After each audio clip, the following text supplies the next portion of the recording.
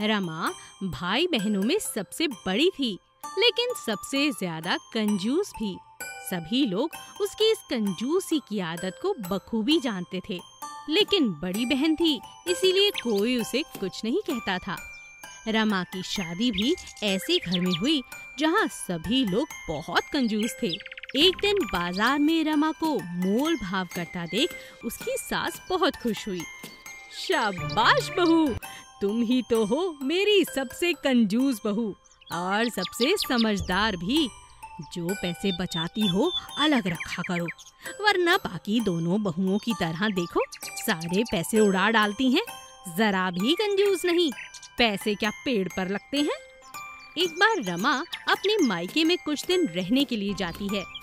रमा खाना बना रही थी, तभी उसका छोटा भाई मनोज उसके पास आता है। रमा दीदी, भूख लगी है। खाना दे दो प्लीज़ अरे, खा खा के क्या? गोलू बनना है तुम्हें? बैठकर टेबल पर पढ़ाई करो, समझे? शाम को खा लेना और रोटी। बस, बहुत हुआ। मनोज मायूस होकर वहाँ से चला जाता है। माँ ने पिंकी और मनोज को खूब बिगाड़ रखा है। अब भला चार रोटी कौन खाता है? इतनी महँगाई के जमाने में? एक दिन रमा पिंकी और मनोज के साथ पिक्चर देखने जाने का प्लान बनाती है। दीदी पिक्चर देखने का मज़ा तो पीवीआर में आता है। बोलो तो मैं वहीं की टिकट ले आऊँ। अरे हमें पिक्चर ही तो देखनी है। दो घंटे में तो खत्म भी हो जाएगी। काहे को इतनी दूर पीवीआर तक जाना? पैसे खर्च करना? जाने का किराया और वहाँ की टिकट हे भगवान बड़ी महँगाई है। नहीं जाना। हम लोग कल पास के थिएटर में पिक्चर देख लेंगे। वो सस्ता भी है। मनोज और पिंकी एक दूसरे को देखकर चुप हो जाते हैं। इंटरवल में पिंकी बाथरूम जाने के लिए उठी लेकिन अंधेरे की वजह से उसका पैर मुड़ गया और पाँव में मोच आ गई। अरे पिंकी क्या हुआ तुम्हें? क्यों गिर गई? माफ़ करो दीदी मुझे सीढ़ियाँ दिखाई नहीं दी। अंधेरा सा छा गया था शायद इसीलिए मैं गिर गई। पिंकी तुम ठीक हो ना? हाँ बस पैर में थोड़ा सा दर्द है। लगता है इसे ज़्यादा चोट आई है। हमें भी डॉक्टर के पास जाना चाहिए। अरे नहीं, अभी कैसे? एक घंटे बाद पिक्चर खत्म होगी, चले जाएँगे डॉक्टर के पास। इतनी भी क्या जल्दी है? क्यों बेकार के पैसे खर्च करने? मनोज और पिंकी चुपचाप वहाँ बैठे रहते हैं। पिक्चर खत्म हो जाती है। रमा देखती है कि मनोज और पिंकी वहाँ नहीं है। अरे, मनोज, पिंकी कहाँ चले गए? कहीं दिखाई नहीं दे रहे। चलो, घर ही गए होंगे। चल कर देखती हूँ। रमा घर पहुँचती है तो माँ बहुत नाराज़ होती है। रमा, यह तुमने ठीक नहीं किया। तुम्हारी बहन को चोट लगी थी और तुम हो कि पिक्चर देखने में लगी थी। उसका ख्याल भी नहीं रखा। कैसी बड़ी बहन हो तुम? तुम्हारे ससुराल वाले तुम्हारी हरकतों से बहुत खुश होंगे, पर मैंने तुम्हें कभी भी इतनी कंजूसी नहीं सिखाई। माँ की डांट सुनते ही जैसे रमा पर मानो सैकड़ों घड़ों पानी पड़ गया हो, उसे अपनी गलती का एहसास हो गया था। रमा ने मनोज और पिंकी से तुरंत माफ़ी मांगी और दोबारा इतनी कंजूसी ना करने की ठान ली। एक समय की बात है, एक मेघराज नाम का शेर एक गुफा में निवास किया करता था। वो बहुत बलवान था। उसी गुफा में एक छोटे से चूहे ने भी अपना बिल बना रखा था। शेर रोज अपने शिकार पर वन में जाता और आकर आराम से विश्राम करता। जब भी वो शेर अपनी गुफा में सो रहा होता था तो चूहा चुपके से आकर उसके बाल कुतर दिया करता था और शेर जब भी उठता तो उसके बाल उसे छोटे नज़र आते। और अपने छोटे छोटे बालों को देखकर वो बहुत नाराज़ हो जाता। इतना बलशाली होने के बाद भी शेर का उस छोटे से चूहे पर कोई बस नहीं चल रहा था। शेर जब भी उसे पकड़ने की कोशिश करता, वो फट से अपने बिल में जाकर छुप जाता। हम्म छोटे दुष्ट चूहे, तुमने मेरी नाक में दम कर दिया है। तुम्हें तो मैं नहीं छोड़ूँगा। तुम्हें तो मैं सबक सिखा कर रहूँगा। कई दिनों तक यही सब चलता रहा। ऐसा कब तक चलता रहेगा? इस मूर्ख चूहे पर अपनी शक्ति बर्बाद करने से अच्छा है, मैं इसी के किसी दुश्मन को उठा लाऊं, तभी इसकी अकल ठिकाने आएगी। फिर शेर उसी दिन जंगल में गया और बहला फुसला कर एक बिल्ली को ले आया। शेर रोज रोज उस बिल्ली के लिए ताज़ा मांस लाता और बिल्ली मज़े से उसे खा लेती। अब जब भी शेर सो जाता तो बिल्ली उसका ख्याल रखती। वो चूहे को पकड़ने के लिए सतर्क रहती। बिल्ली की उपस्थिति में चूहा डर के मारे बाहर निकल ही नहीं पाता था। जहाँ बिल्ली रोज ताज़ा मांस खाकर मोटी तगड़ी होती जा रही थी, वही बेचारा चूहा अपने बिल में छिपा हुआ भूख से सूख रहा था। हे भगवान, ये बिल्ली कब जाएगी यहाँ से? इसकी वजह से ना तो मैं बिल से बाहर निकल पा रहा हूँ और ना ही कुछ खा पा रहा हूँ।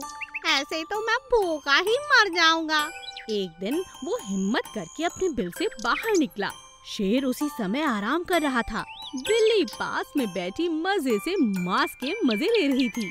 इतने में चूहा बिल्ली से अपनी नज़र बचाकर शेर के पास जाने की कोशिश करने लगा। पर जैसे ही उसने आगे जाना चाहा, बिल्ली सतर्क हो गई और एक ही झपट्टे में चूहे को अपने पंजे में ले लिया। उसने उसी वक्त उसे मारा और खा गई। बिल्ली बहुत खुश थी कि उसने शेर की मुसीबत को कम कर दिया था। बिल्ली को पूरा विश्वास था कि अब तो शेर खुश होकर उसे पुरस्कार देगा। हम्म, मज़ा आ गया। आज तो शेर महाराज मुझसे बहुत खुश होंगे। शेर जैसे ही उठा उसे पता चला कि बिल्ली ने उस चूहे को मार दिया है। अब शेर की परेशानी का कारण ही समाप्त हो चुका था। इसका काम जैसे ही हुआ, उसने बिल्ली के लिए भी अब मांस लाना बंद कर दिया, जिस पर बिल्ली समझ गई कि चूहे को मारकर उसने शेर की परेशानी तो कम कर दी, लेकिन अपनी परेशानी बढ़ा ली। ये सोचकर बिल्ली वहाँ से हमेशा के लिए चली गई। सोनिया बहुत ही होनहार लड़की थी। वो पढ़ाई लिखाई में बहुत अच्छी थी। साथ ही उसे सजने संवरने का भी खूब शौक था। उसके शौक को देखकर उसकी माँ ने उसे ब्यूटी पार्लर का कोर्स करा दिया। सोनिया की शादी एक छोटे से कस्बे माधवपुर में हो गई। उसका पति चंदन और उसकी सास उसे बहुत पसंद करते थे। हमारी बहू तो बहुत ही होशियार है। उसने ब्यूटी पार्लर का कोर्स भी कर रखा है। माँ सोनिया चाहती है कि वह अपना एक ब्यूटी पार्लर खोले। हाँ हाँ अगर वैसा करना चाहती है तो मैं उसके साथ हूँ। वैसे भी इस कस्बे में कोई अच्छा पार्लर है ही कहाँ? माँ जी, इसके लिए मुझे कुछ रुपए चाहिए होंगे। ये ले बेटी, दस हज़ार। यह मैंने सालों से जोड़ कर रखे थे। आज ये तुम्हारे काम आ जाएँगे तो भाई मुझे बड़ी खुशी होगी। सोनिया उस पैसे से घर में ही एक कमरे में पार्लर का काम शुरू कर देती है। उसकी सास भी जगह जगह उसकी तारीफ़ करती नहीं थकती। कुछ ही दिनों में उसका पार्लर हर जगह मशहूर हो जाता है। सोनिया, जब से तुमने ये पार्लर खोला है, तब से मैं बहुत ही खुश हूँ। इतना अच्छा काम करती हो तुम, कभी कहीं और जाने का मन ही नहीं करता। दीदी, जो भी यहाँ काम करता है, उसे मैं फ्री में मेहंदी लगा कर देती हूँ। आपका जब मन हो, आप मुझसे मेहंदी लगवाने ज़रूर आना। अरे वाह! यह स्कीम तो तुमने बड़ी अच्छी रखी है। स्कीम की वजह से एक ही महीने में सोनिया ने खूब कमाई कर ली थी। एक दिन सोनिया अपनी सास के पास आई और बोली, माँ जी, ये लीजिए दस हज़ार रुपए। क्या हुआ बेटी? तुम ये पैसे क्यों लौटा रही हो? आपने इतने प्यार से जो मुझे पैसे दिए थे, उनका ऋण तो मैं कभी नहीं उतार सकती। मगर ये पहली कमाई है माँ। आप इस कमाई को अपने पास ही रखिए। मुझे बहुत खुशी होगी। सोनिया की सास बहुत खुश हो जाती है। पैसों को लेते हुए वो बोलती है, इन पैसों से अपने पार्लर के लिए और सामान ले आओ। मैं तुम्हारी तरक्की से बहुत खुश हूँ, बेटी। मेरा बेटा, मेरी बेटी, तुम मेरी बहू नहीं हो, बेटी हो। आज हर कोई मुझे तुम्हारे नाम से जानता है। कहते हैं, वो देखो, मेहंदी पार्लर वाली बहू आ रही है। तुम बहुत तरक्की करोगी, सोनिया। सोनिया ने खूब मेहनत करके खूब पैसे कमाए और उन पैसों से अपना घर और बड़ा कर लिया। मेहनत करने वाले इंसान की कभी हार नहीं होती। चूहे से शादी। मोहन और उसकी पत्नी एक गाँव में रहते थे। उनकी शादी को कई साल बीत गए लेकिन उनके अभी तक कोई संतान नहीं थी। इसी कारण वे परेशान और उदास रहते थे। सुनो जी हमारे गाँव में एक बहुत बड़े संत आए हैं। सुना है वे सबकी मनोकामना पूरी करते हैं। चलिए ना, हम भी उनका आशीर्वाद ले लेते हैं। मोहन और उसकी पत्नी संत के पास आशीर्वाद लेने पहुँचे। संत ने उन्हें एक चूहिया दी और कहा, ये लो, आज से ये चूहिया तुम्हारी संतान है। जब तुम दिल से इसे संतान मान लोगे, ये इंसान रूप में तुम्हें मिल जाएगी। और ऐसा ही हुआ।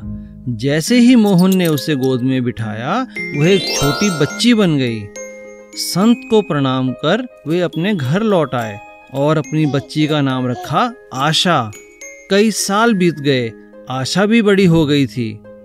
मोहन और उसकी पत्नी अपनी बेटी को खूब प्यार देते। वे भूल चुके थे कि वह एक चूहिया है। एक दिन मोहन की पत्नी ने कहा अब आशा जवान हो गई है हमें उसकी शादी करनी चाहिए। तुम ठीक कहती हो अब दिन रात आशा के लिए रिश्ते आने लगे। मोहन ने अपनी बेटी से कहा देखो आशा अब तुम बड़ी हो चुकी हो। हम तुम्हारी शादी करना चाहते हैं। ये देखो लड़के की तस्वीर। ये शहर में डॉक्टर है।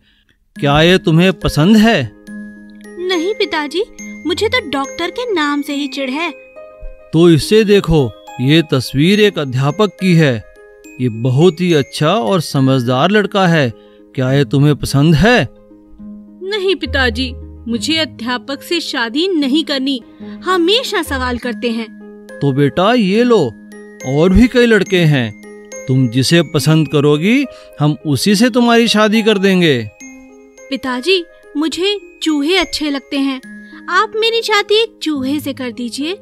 यह सुनकर मदन ने कहा समझ गया बेटी तुम ठीक कहती हो हमें सुख देने के लिए तुम इंसान बनी रही। अब तुम असली रूप में आ जाओ। मैं तुम्हारी शादी एक चूहे से करूँगा। और इस तरह मोहन ने अपनी बेटी की शादी एक चूहे से कर दी और खुशी खुशी रहने लगे।